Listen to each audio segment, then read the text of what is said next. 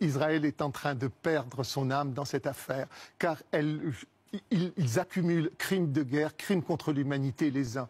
Ne pas donner à manger à une population, c'est un crime de guerre. Ne pas donner à boire à une population, c'est un crime de guerre. Ne pas permettre aux populations de se faire soigner, c'est un crime de guerre. Israël est en train de cumuler tous les crimes de guerre qui sont condamnables sur le plan international.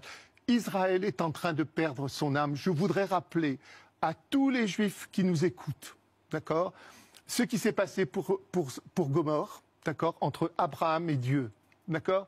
Dieu avait décidé de détruire Gomorre, de Sodome, d'accord. Abraham s'est interposé en disant Détruiras-tu Pardon, docteur, les juifs qui nous écoutent ne sont pas responsables des bombardements non, de. euh, non, sur pas du tout. Mais je voudrais rappeler il faut, que, il faut, que l'âme, vraiment ne- oui, essayer de ne pas mélanger les. Je les ne sujets. mélange pas. Je veux dire simplement qu'il y a une nécessité de sauvegarder l'innocent, de protéger l'innocent. Et la population palestinienne, elle, est prise en otage et ce sont des êtres innocents.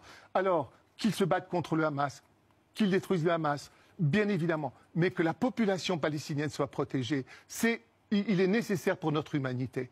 Que nous puissions avoir un acte d'humanité envers cette population. Nous ne pouvons pas la laisser se faire massacrer comme elle se fait massacrer.